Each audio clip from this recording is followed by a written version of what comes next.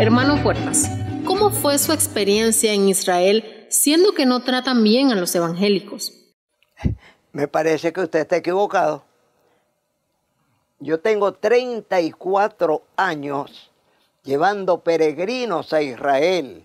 Y cuando nosotros llegamos al mar de Galilea, los marineros nos reciben con gozo. Cuando llegamos al aeropuerto de Ben Gurión, que es el aeropuerto internacional de Israel, nos reciben con gozo.